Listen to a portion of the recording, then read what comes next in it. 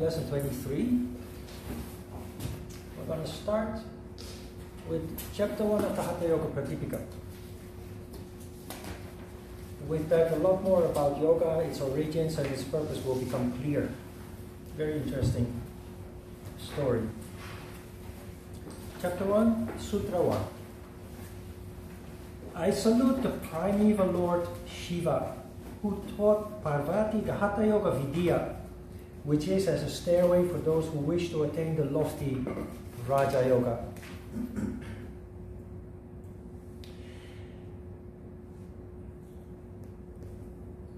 This is an evocation.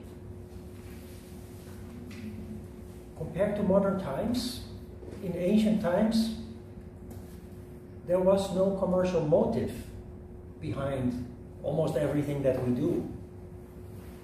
So, Svatmarama does not start the book by introducing himself and emphasizing his, uh, his qualifications.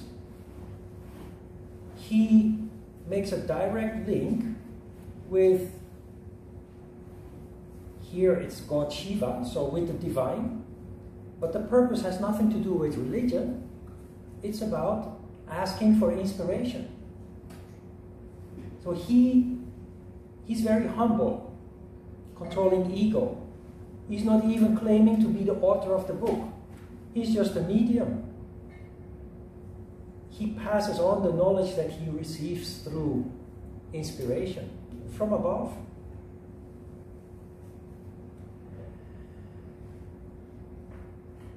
The story of Shiva teaching Parvati the Hatha Yoga Vidya, which is the science, Vidya, of Sun Moon. Hatha Yoga is, is the science of harmony between Shiva and Shakti energy between plus and minus, between yin and yang. We talked about that last week extensively. So I think that is clear. But the story of these are gods, these are not people. So every, every culture has a story about how the world came into being, how mankind came into existence. In Korea, that is the story of Tangun. Tangun is a mythological being that is, seems to be the first human being. Here, it's not Shiva or Parvati, it's Matsya, the fish. The story goes that Shiva was teaching Parvati yoga, Hatha yoga, on the beach in a place that is modern day Sri Lanka. There was a fish that came to the surface and by chance overheard those teachings. Divine teachings, the teachings from a god to his wife Parvati, not human beings, I emphasize. This fish became Matsyendra, the king, because of the knowledge he acquired by overhearing the teachings of Shiva, Lord Shiva or God Shiva to his wife Parvati, he evolved. He grew, he developed, he became empowered, and he became king. Not only that, he became, the story goes, the first human being. This is very interesting because it shows that ancient people, without the benefit of sophisticated, sophisticated scientific instruments that we have, they had some idea that life originated in the sea. Now we know that for sure with all our sophisticated tools that we have at our disposal. Ancient people didn't have that. All they had was their power of contemplation. So the ancient people had a quite clear idea that life, based on this story, the story clearly tells us that life came from the sea. The first human being was originally a fish. He became human by starting to practice yoga.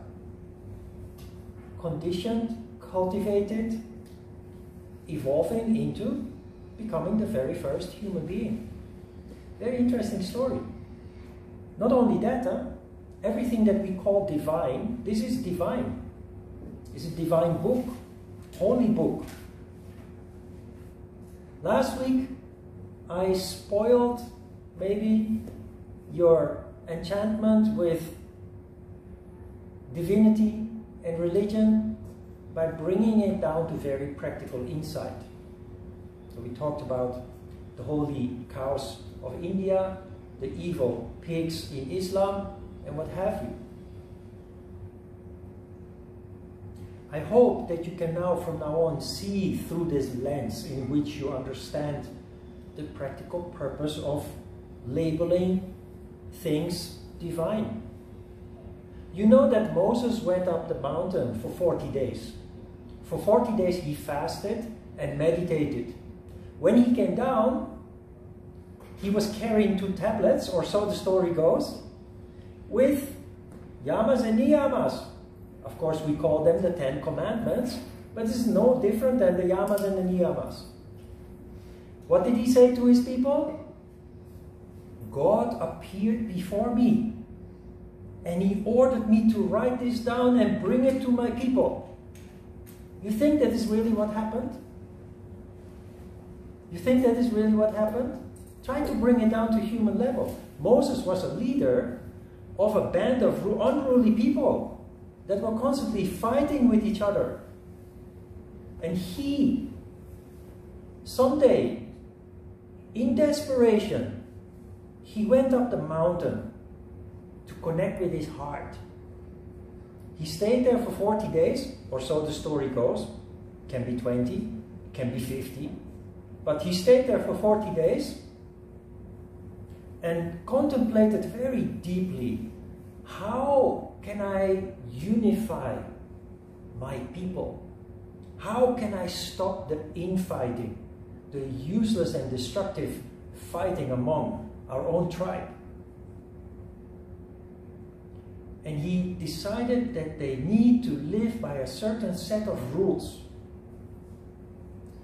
But in his contemplations, he realized that if he said, These are my rules, and from today you have to start living according to these rules, he realized people would never obey that. So he said, These are not my rules, it's God who dictated them to me. These are divine rules. And it is a sin if you don't obey. If it's a sin if you violate these rules. That is why we, we name things divine. Do you understand how this works? There is a reason why in industrialized countries that have a very well organized education system, churches are more and more empty. And in Holland, in the Netherlands, many churches either have been demolished or they have been converted into something else. Like a shopping mall or a, a, a bazaar or. Why?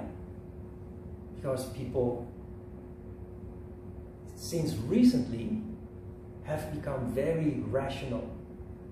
And although they do not exactly understand religion, they think it doesn't make sense.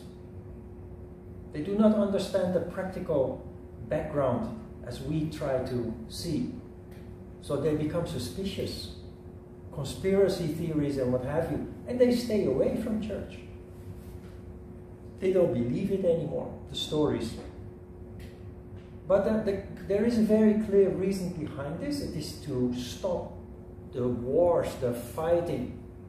It is to stop people from functioning on impulses and, and, and, and lower emotions and desires and ego. Society that succeeds to do so starts to thrive. Moses was the leader of the Jewish people. The Jewish people are very successful all over the world, and that finds its origin thousands of years ago when they started to organize themselves.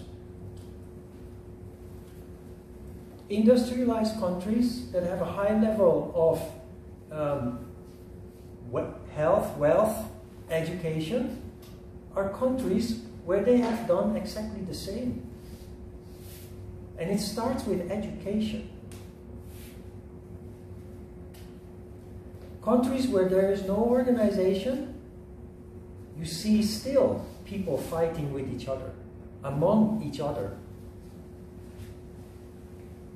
So the purpose of religion, the purpose of naming things divine, is to organize people.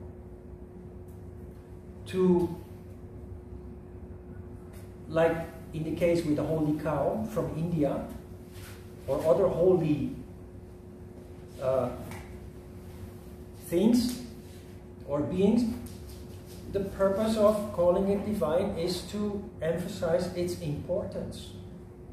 The holy river, the Ganges and the Yamuna, holy rivers. Why are they holy?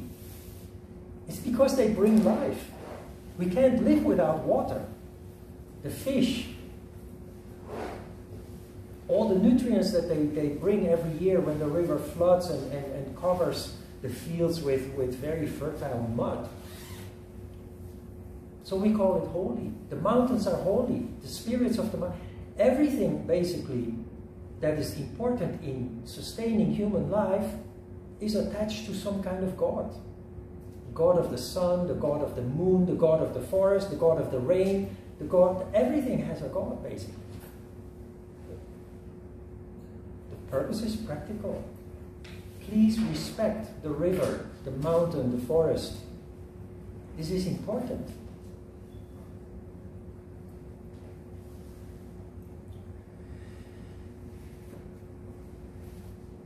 Also important in this first sutra is the link that he makes with Raja Yoga. Hatha Yoga and Raja Yoga are one. Hatha Yoga is a stairway towards the lofty Raja Yoga. It is a tool.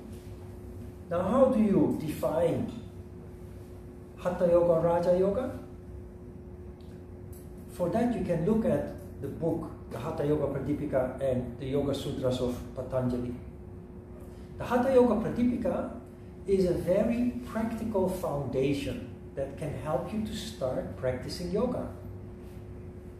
Starting with giving some uh, uh, basic uh, uh information about, about how to create the proper environment in which to practice, about about diet that is beneficial to, towards your yoga practice.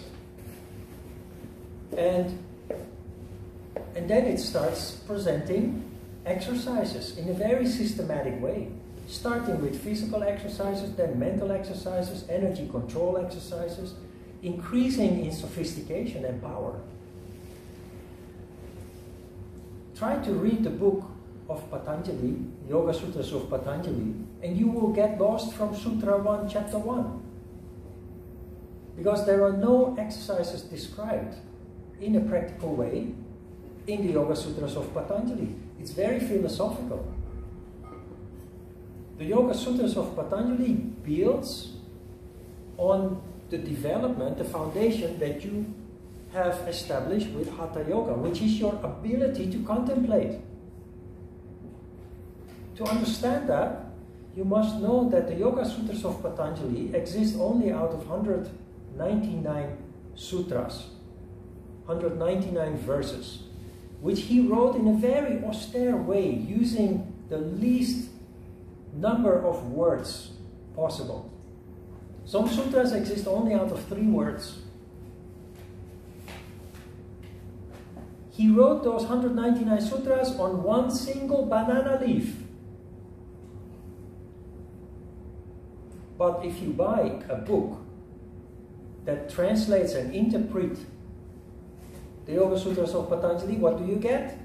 You get a work this thick, 400 or more than 400 pages to try to explain what Patanjali tried to convey on one banana leaf. I challenge you to read that book I say that with a smile because I know you will go nowhere. That book and other books have been translated by academics, often people without experience, practical experience with yoga.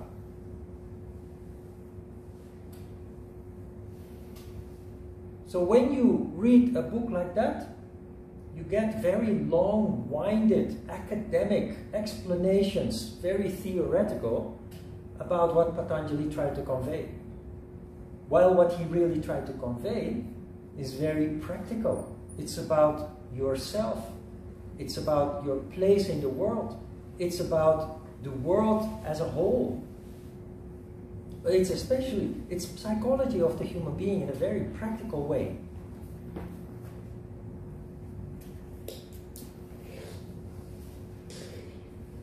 The purpose of the sutras is that you read one sutra and then just close your eyes and meditate on it. Throughout the years that I have taught, I noticed, and this is exactly expected to go this way, that every time I teach, I teach, I tell a different story.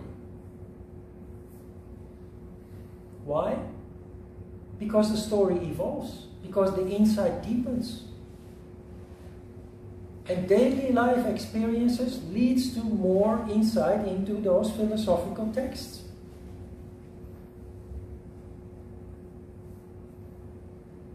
That is the power of contemplation.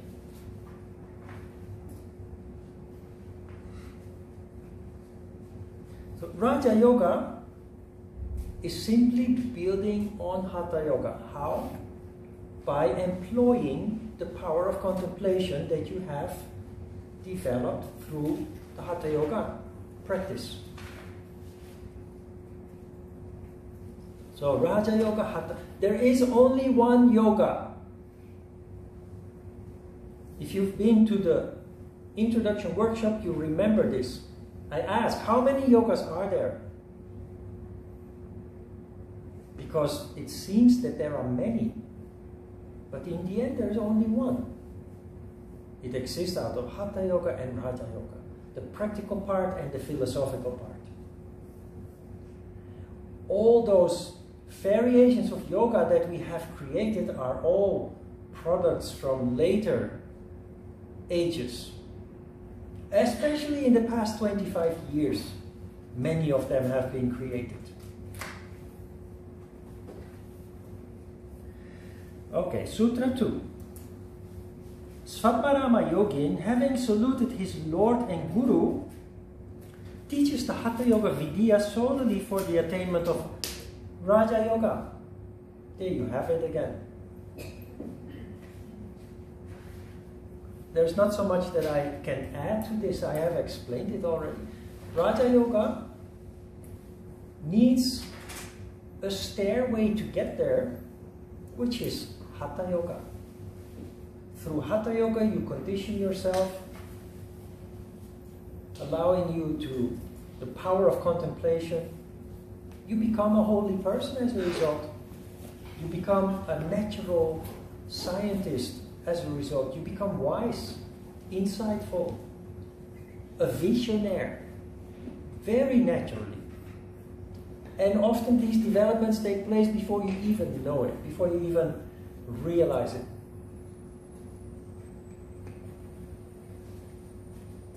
Third sutra. To those who wander in the darkness of conflicting doctrines, being ignorant of Raja Yoga, the most compassionate Svatmarama Yogin offers the light of Hatha Vidya. To those who wander in the darkness of conflicting doctrines, the world is filled with conflicting doctrines,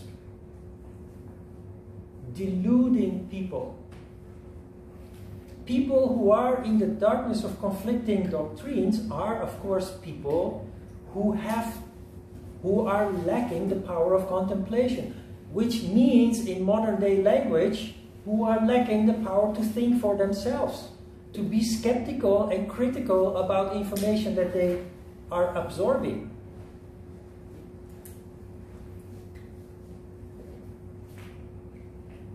This shows that Svatmarama is not writing this book to, to prop up his ego, to take credit for writing an epic work.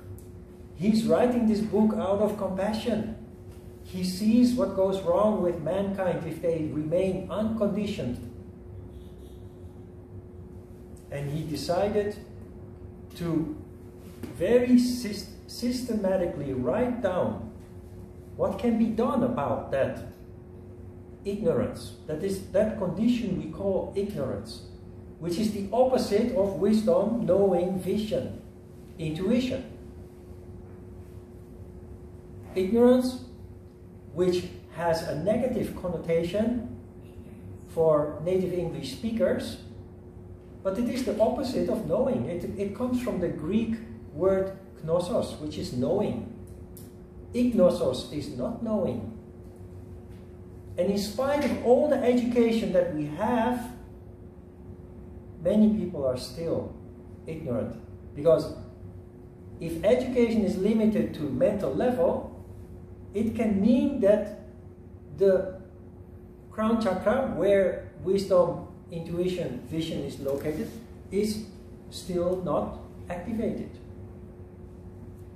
To understand that, you can see the division in Europe and America where half of the people does indeed live, live in a condition or in a world of conflicting doctrines. And another half is relatively enlightened. But all of them have been educated to some extent. That shows that half has, to some extent, functioning of the crown chakra, the other half is lacking the functioning of the crown chakra. At the time that Svatmarama wrote this book, many more people, there was, it was not half-half, there were many more people who were in that condition of not functioning crown chakra. And his only purpose to write this down and present it to the people is to help people reach enlightenment which for many people sounds very mysterious, but enlightenment is really to turn on the light.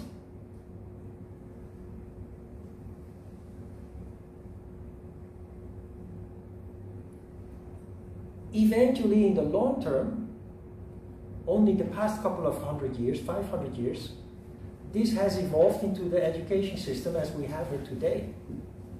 Which, if you understand this, has overshot the goal. Because the intention of education was exactly this what Svatmarama meant to achieve with this book. But then it became too mental, focusing on doing your exams, focusing on rote memorization. But initially, the, the purpose of education was to enlighten the uneducated masses that were living in the darkness of conflicting doctrines like Svatmarama. So it has evolved enormously since the book was written. We just have to bring it back down to its purpose. Open up the crown chakra so that you become your own. You become an academic on your own, in your own mind. Not by memorizing books about subjects that you're not interested in, but by naturally contemplating issues that you feel drawn to. An education that you have had makes it easier for me to teach yoga, and it makes you, for you, it makes it possible to skip a huge, uh, uh, a huge stage of development that otherwise should have been achieved through the practice of yoga. That's already been done since you since you were born. Basically, you have been subjected to two decades, two and a half decades of, of, of compulsory education. Have you ever wondered why your government wants you to be in school? in the Netherlands, I don't know about other countries, in the Netherlands, if your parents keep you from school, they will be fined. It's against the law. And if they persist, eventually they will end up in jail. So education is compulsory, it's an obligation. Why? Why is this so important for the government that they will throw your parents in jail eventually if they keep you out of school? Because it is important to have law and order, to have people cultivated to a point that they cooperate with the society that they are part of instead of working against it and causing chaos.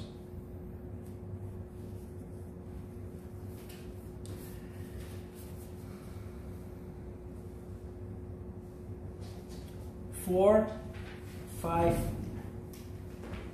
and all the way down to Sutra 9. We will do that in one stretch. Fourth Sutra, Matsyendra. Remember, Matsyendra is the fish that learned Hatha Yoga from the god Shiva. Matsyendra, Goraksha, and others knew well the Hatha Vidya. The yogin Svatmarama learned it by their favor.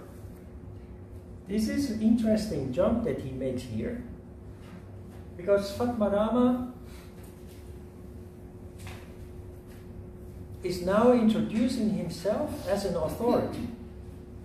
And he does that by referring to the lineage to which he belongs. And he belongs to the origin or the original lineage of yoga that started with Matsyendra the fish that became the first human being. And then he goes on. Sutra 5 to 9. Shiva, Matsyendra, Shabara, Ananda Bhairava, Kaurangi, Mina, Goraksha, Virupaksha, Bilashaya, Mantana, Bhairava, Siddhi, Buddha, Kantari, Korantaka, Surananda, Siddhapada, Karpati, Kaneri, Pujapada, Nityanata, Niranjana, Kapalin, Bindunata, Kakka Kandishvara, Alama, Prabhudeva, Godakoli, Tintini, Banukin, Naradeva, Kanda, Kapalika, and many other great siddhas, having conquered time by the power of Hatha Yoga, move about the universe. Why would he do this? He is establishing the lineage to which he belongs. These are all great yogis, siddhis, holy yogis Sometimes people ask, to what lineage do we belong? If that is being asked of you, if you ever start teaching yoga, a little bit beyond just physical exercise, if people ask, sometimes people do because they know a little bit about yoga, your answer should be Patanjali. We are of the lineage of Patanjali.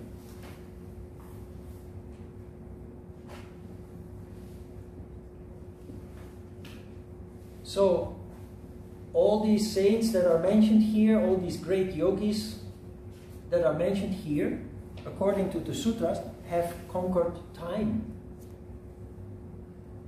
What does that mean, conquer time?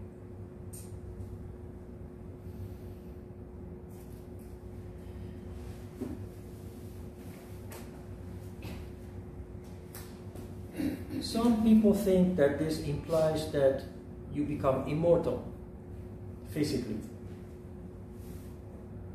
Some people imply that some people think that this implies that it means you can you can fly, you can travel through the universe, through space. You become the master of the universe, as other sutras tell us. The reality is very practical. I was born in the 60s. I grew up in the 60s, 70s. Many of you were born in the 80s, 90s even. Although there's only 20 years difference there, or 25, maybe 30 years difference there, you function very differently from how I function. In the same way that my parents, who were born in the 30s, function totally different from the way I and my siblings function. Do you recognize that? That is what this means. When you practice yoga continuously, we are talking here about siddhas, people who have reached the highest stages of development in yoga. You free yourself from the conditioning that has taken place in your developmental stages. You will not change, but your insight will change. You will not change, but the way that you judge the world around you and the people in it will change. You become a universal human being you can understand how a person would have functioned, at least to some extent, how a person would, would have functioned 300 years ago. Because you're able to think out of the box. That is what conquering time means. My mom was born in the 30s, experienced the Second World War it still determines her behavior 70, 80 years later. The way she thinks, the way she interprets the world around her, and the people that she comes across.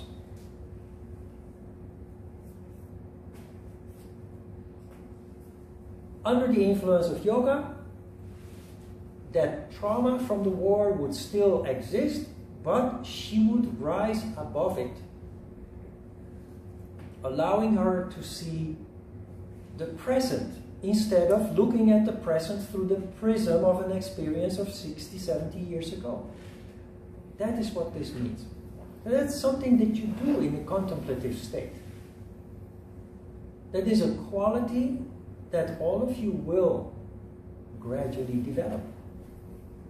And this is also a very interesting part. They move about the universe.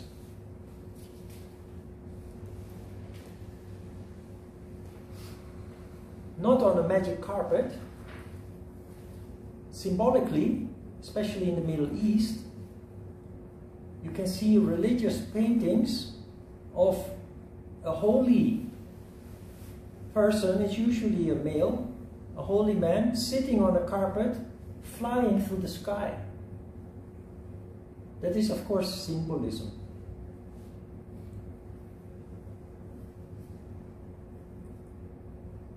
So, what does it mean, moving about the universe? Those people have died, at least physically. This is about reincarnation according to Buddhism, we reincarnate one million times because we are ignorant. We keep making the same mistakes again and again. So we have to come back again and again. Our karma dictates that we must relive our mistakes until we finally start learning something from it. The purpose of a practice like Buddhism, yoga, and basically all other all other spiritual practices is to significantly reduce those 1 million lives. You literally awaken. And therefore, you start finally to learn from your mistakes. In the end, when you have reached liberation, when you have reached enlightenment, you don't reincarnate anymore. Then where do you go? Where does your spirit go? A normal human being, you know, when a when a body dies, the spirit rises up. Right? Everybody knows that. that spirit rises up and reincarnates again at some point in time. The more sattvic you are, the more, listen, listen carefully, the more sattvic you are when you die, the longer it takes before you reincarnate.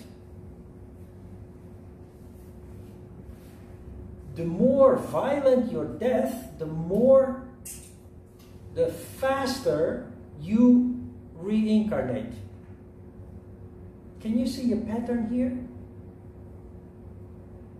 After every war, there is a baby boom. You can explain that in all kind of ways, but from our perspective, it makes total sense. Many people die from, many people die in a total unharmonious condition either by violence or other forms of suffering. Spirits that die abruptly, prematurely, by violence, are restless and therefore very quickly reincarnate. If you think that is far fetched, you can clearly see the opposite too. We talk about graying societies. Japan is a graying society. European countries are graying societies. Many people die in peace. Of course, we have many ways to explain it away in other ways, in economical ways. But from our point of view, it makes total sense when a society is very stable, the spirits of the people that die in those societies take a much longer time to return. That's one thing. Now, those that are mentioned here before, they don't return anymore. They move about the universe. The idea is that those people that have reached the highest levels of evolution, have become saints.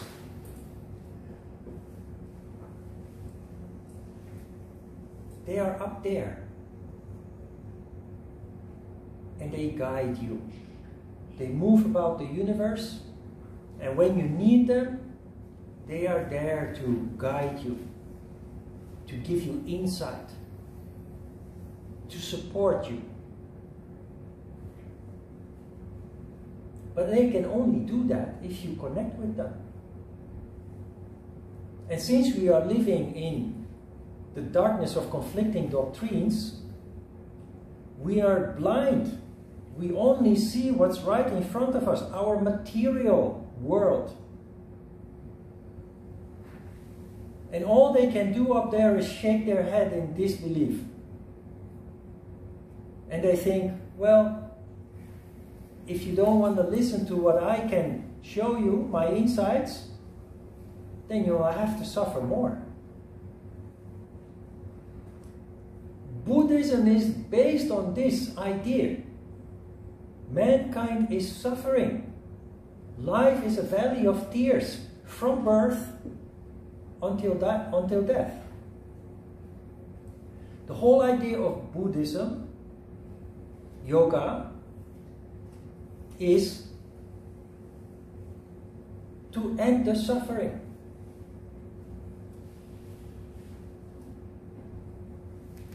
Most people that are suffering do not realize that they are suffering. We just think it's life.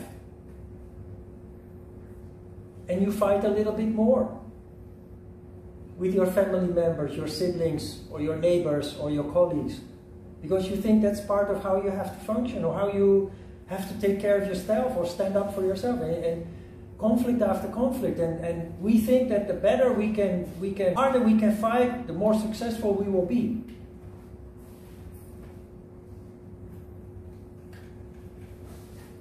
If you close your eyes and you open your heart, they give you insight. Strange story, huh? But I firmly believe this myself. As I have found all my answers to all my conflicts by closing my eyes, by being humble, honest with myself, about myself, and not blaming anybody else for my suffering. I can blame my family, my parents, my my society where I was born, my the Second World War. I can blame I can blame so many, but it doesn't work, does it? You will just keep complaining the rest of your life. God helps only those who help themselves. They are there, waiting for you to open up. And one of the most rational people you will meet, atheist. And I'm pouring a bucket of cold water over you where it comes to religion. And yet here I am telling you about holy beings that are up there, that are just waiting there for you to open up so that they can guide you. That is the power of the crown chakra. That is why Svatmarama at the beginning of the book invokes. He asks for insight from God Shiva, Lord Shiva. He doesn't say, I have three degrees in philosophy and, and, and uh, what have you, and now I'm going to put my expertise to work in writing this book. No, he says, please help me to make this work for mankind. Not for me, not to make money, to help mankind. And he does that by opening up. Ask for inspiration. And it is so simple. And the practice of yoga is designed to create that condition in you to do that.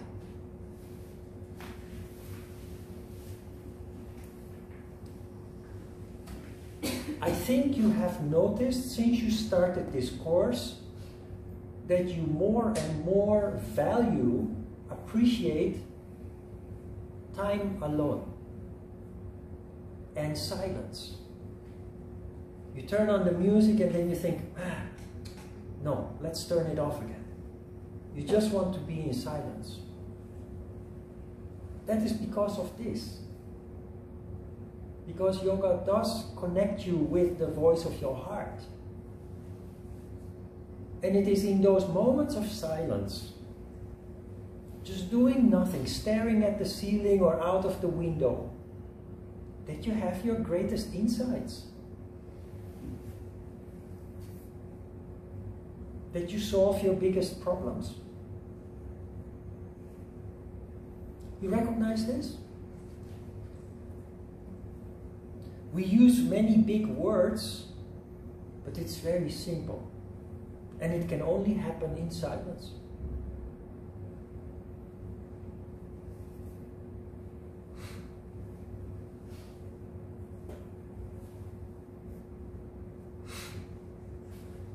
The Ten Sutra basically tells you what I've tried to tell you in this explanation.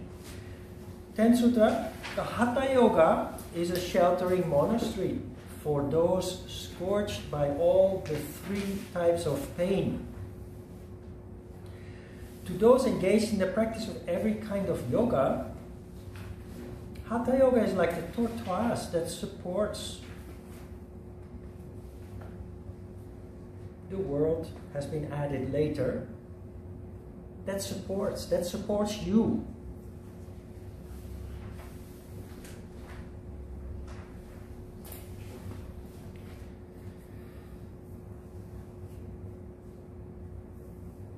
Hatha Yoga is a sheltering monastery for those scorched by all types of pain. Now, when you think of pain, you think of what you, what you feel when you bump your head into the doorpost, or when you cook and you accidentally cut in your finger and it hurts. Maybe you think of pain when you have when you break up with your partner and you're you're hurt. So these kind of pain are very obvious and is only a small percentage of all the pains that we that we know but do not realize exist.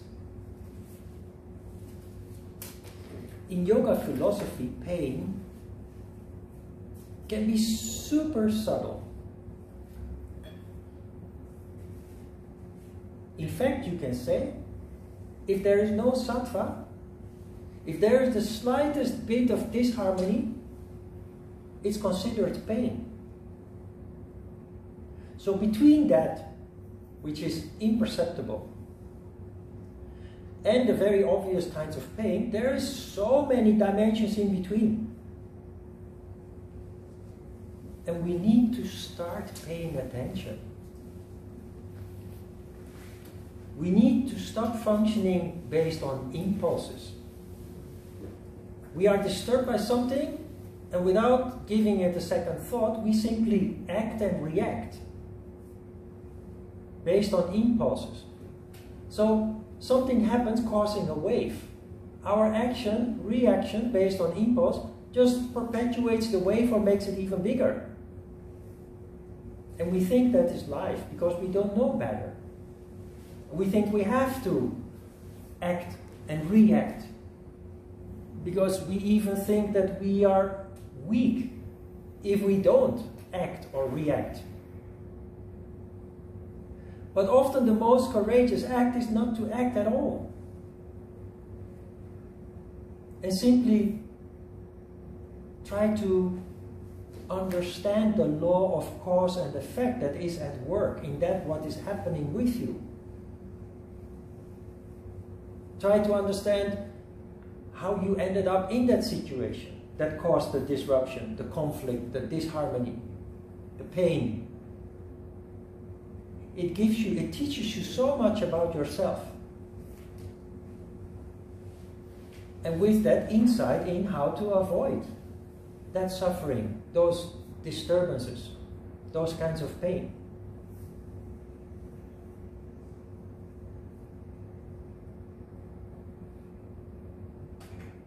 You pour oil, a wave, disharmony. When you act, react, you put you put you make the wave worse, but if you if you contemplate on what is happening, see it for what it is, a disruption, you pour oil on the wave, the wave becomes smaller.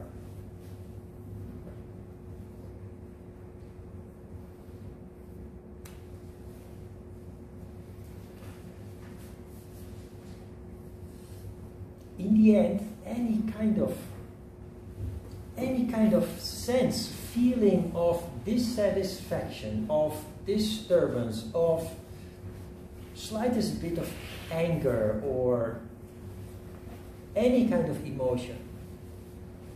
Technically, it's a disharmony.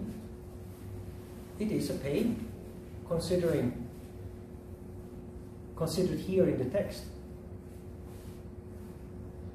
So how does Hatha Yoga help with that? Because it cultivates that consciousness in you that allows you to see the law of cause and effect at work. It gives you all the tools you need to go beyond ego, understand emotions, and instead of acting, reacting on it, learning something from it so that you grow and mature, evolve. Pleasant side effect is that out of those one million lives that you are supposed to live as an ignorant being, you reduce the amount of reincarnations that you have to suffer through.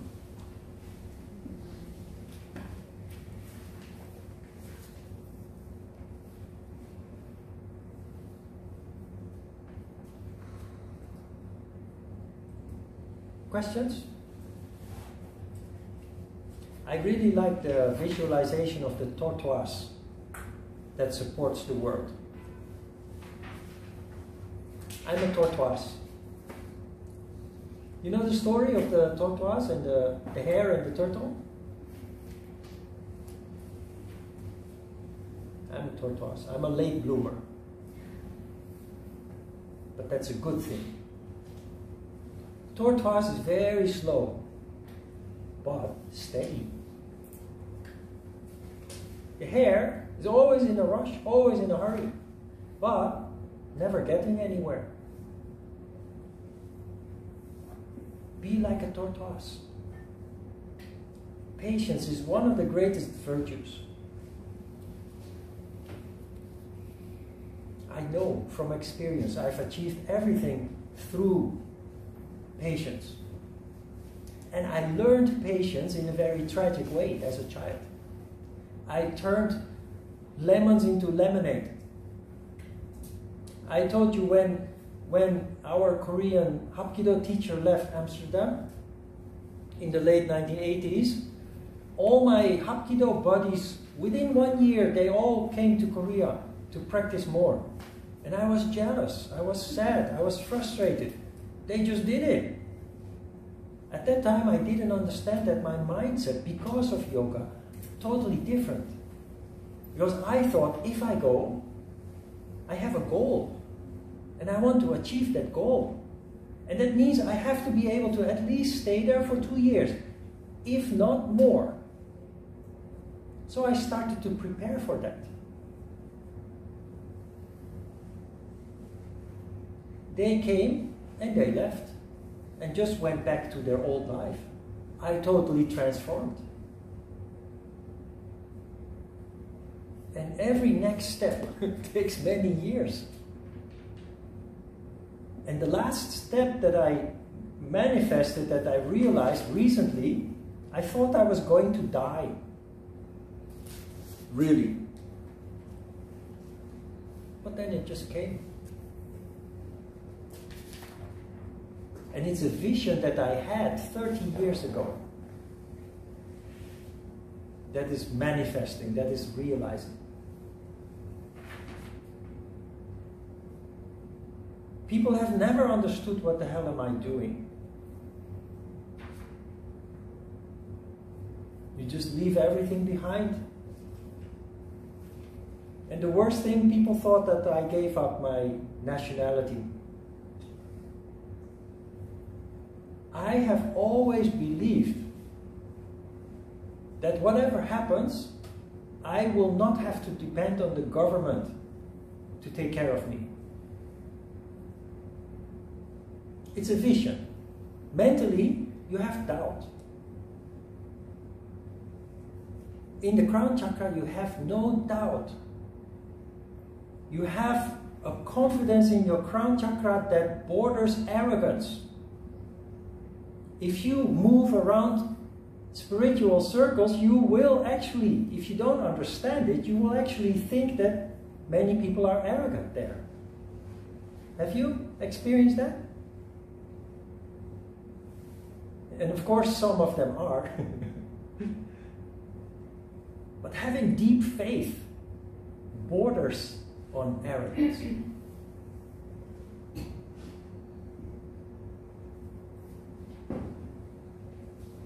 I always do the opposite of what people think is good for me. I was kind of burned out. First physically in 2017, and then mentally end of 2018. So I canceled the classes. I had no income. Didn't know what would happen. Actually, I was I think I told you at the beginning of the course. At that time, I really felt I'm done with yoga. I'm a, I'm a fake, lousy, horrible yoga teacher. I failed. I made the wrong choices in my life. I'm done. Instead of going back to Holland or trying to get a job, I adopted a dog, which I know was sent to me by those that move around the universe. You just know. For 20 years, you don't want to have a dog. My previous dog just came to me in the same way. And when she died, I, I vowed never to have a dog anymore. Her death was so painful.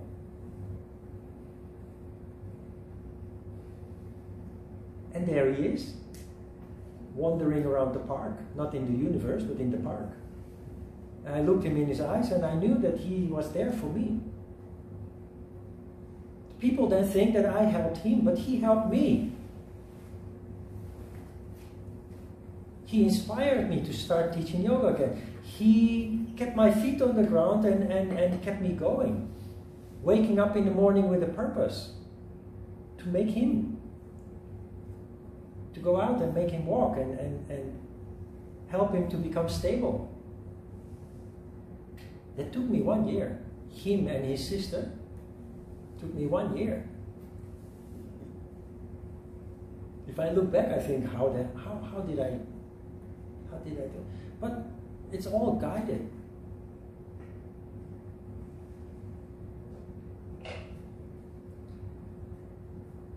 It's a little bit difficult to explain, but follow your heart and they will take care of the rest. It sounds foolish, naive, even stupid. And sometimes in your deepest moments of desperation, you, you think you were. I, I did think about how stupid I must have been. But then everything, all the dots connected. it was a big relief.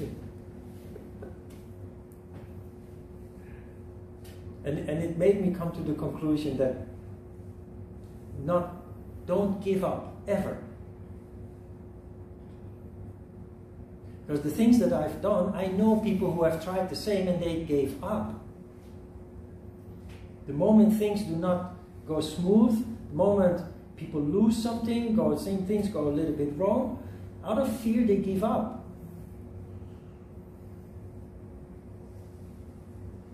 I never gave up. I hope you will never give up, whatever it is. And in your deepest desperation, think of this. The moment that you're really down on your luck, just sit down and rationalize. Think about today I'm miserable and I want to die. But time will pass. Next year, it will be very different from now. It cannot remain the same. Then what do you do? Focus on practical things, your daily. Go to the supermarket to get food, cook, clean your house. And if there is a needy dog, that comes across your path, heed the call. It gives you purpose.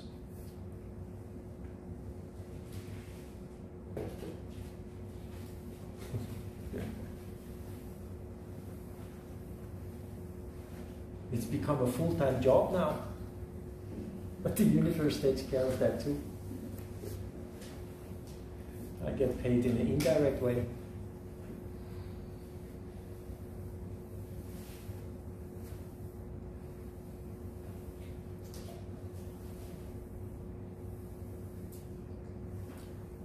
patience and never give up.